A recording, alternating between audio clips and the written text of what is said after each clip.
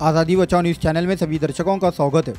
महाराष्ट्र लोक सेवा आयोग द्वारा आयोजित परीक्षा में पास होने पर सोलापुर की रहने वाली ऐश्वर्या महेंद्र उम्बरजे को सहायक अभियंता क्लास टू में जल संपदा विभाग के पद पर चुना गया है। सोलापुर शहर में अधिकारियों के परिवार से मशहूर महेंद्र उम्बरजे और पत्नी सविता उम्बरजे जो सार्वजनिक बांधकाम विभाग में उप अभियंता के पद पर हैं। इन्होंने अपनी बेटी ऐश्वर्या को ग्यारहवीं और बारहवीं की शिक्षा के लिए हैदराबाद भेजा, फिर सिविल इंजीनियरिंग के लिए वालचंद कॉलेज और Visvesvaraya national institute of technology Nagpur से अर्बन प्लानिंग में एमटेक कराया, जिसके बाद ऐश्वर्या ने एमपीएससी की परीक्षा पास कर अपने परिवार और सोलापुर का नाम रोशन किया है। ऐश्वर्या की सहायक अभियंता क्लास टू में नियुक्त होने पर शहर व ज़िले के कई मान्यवरों ने बधाई दी।